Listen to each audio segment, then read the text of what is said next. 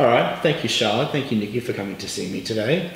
Uh, as this is the end of semester, Charlotte has already sat her Year 10 uh, Chinese test for the semester.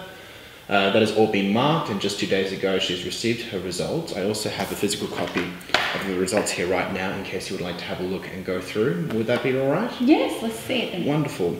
So for this test, Charlotte got 58% overall, but don't let that discourage you because she did very well on the listening and reading parts. In fact, as far as the class has gone, this is pretty much on average. She's done very well in those parts.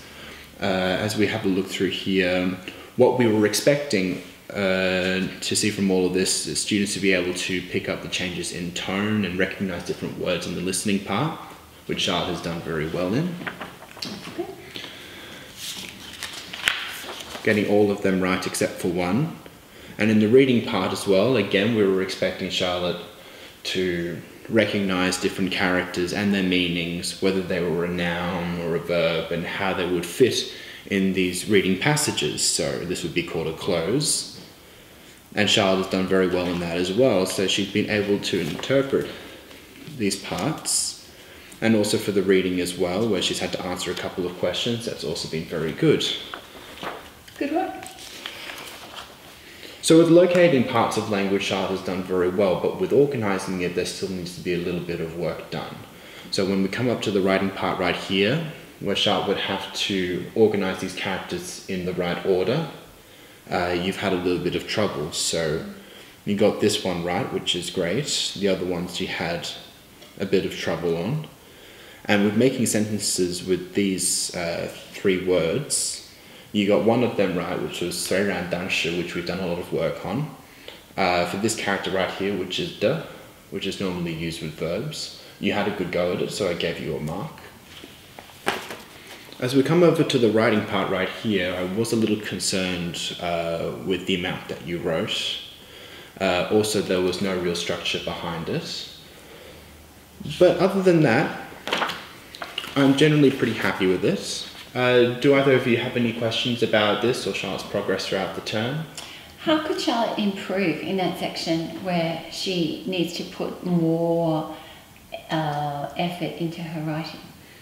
Well, as her effort is the sorry, as her writing is the part that needs the most work, what I would suggest is a lot of writing exercises over the holidays. It's good that you bring this up because I have a lot of exercises that I can give Charlotte to scaffold her writing over the holidays. So the first thing that we're looking for is we're looking for structure.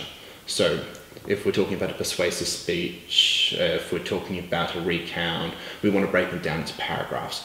And then from there, if you're giving reasons, we want firstly, secondly, thirdly, just like in English, but with Chinese. So even if you aren't able to write a lot, you're able to uh, break down your points in a clear manner so that an examiner or a teacher such as myself is able to clearly understand your work. So that's really the main thing. So I'd be able to provide little writing exercises, things to read over, so that Charlotte will be more familiar with what is expected during the writing parts, and that she'd be able to organize sentences together, because she's very good at uh, recognizing what a text is saying and locating the necessary characters to make meaning. Uh, but with organizing them together, uh, we could scaffold that further. Charlotte, do you have any questions or comments? No. No? How did you feel you went on this test? Um, I feel like I did okay, but there was areas that I definitely could have improved on. Well, that's all right. Well, it was definitely a harder test than you would have had in year nine. And the reason that we were doing this, the, the reason why this is a bit harder is because we're trying to prepare you for year 11. Now, as far as I see, I think Charlotte can do very well in year 11 and possibly into year 12 as well. Would this be something that you'd be looking for, Charlotte and Nikki? What do you think, Charlotte? How do you feel? I think that I'll continue. Oh, that's good. Well, you've been a very enthusiastic student, and your work with the listening section, and also speaking in class, has been very good. You've been very involved, and it definitely not only puts you on the path for fluency, but if you want to continue it as an adult, then you certainly have greater job opportunities and everything like that. And that's the kind of enthusiasm that we want to see for year 11 and 12. Yes. So we certainly see a lot of progress going on. Yes. Uh, we certainly need more structure in the writing, but as I said, I can help you with exercises that will help you with that over the holidays.